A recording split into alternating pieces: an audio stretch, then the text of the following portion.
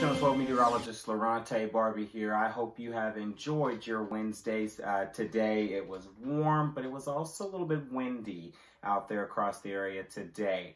Tomorrow is going to be a Storm 12 alert day as we are expecting strong to severe thunderstorms that are going to be expected uh, throughout the afternoon and early evening hours. Overnight tonight, it'll be windy and mild, we'll, with lows around 60 uh, by the early morning hours of Thursday. We do have a wind advisory that is in effect for Middle Tennessee for Thursday with gusts up to 45 miles per hour, even outside of the thunderstorms. We could see a few showers that will be possible as soon as sunrise for Thursday. Strong severe storms will move in from the west during the afternoon hours.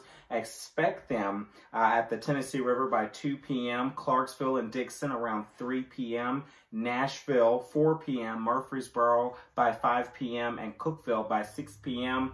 Keep in mind, damaging wind gusts will be likely. Isolated tornadoes will be possible.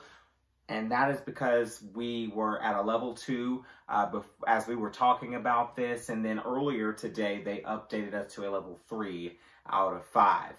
Once we get this out of here Friday, it'll turn much cold, uh, cooler with the morning lows in the mid 30s and afternoon highs will, main, will maintain in the mid 40s.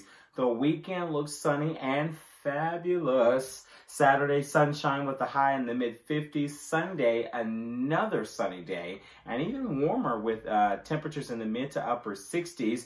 Showers do return early next week. Monday, President's Day, and Tuesday there will be rain, but it will remain mild with highs in the mid 60s.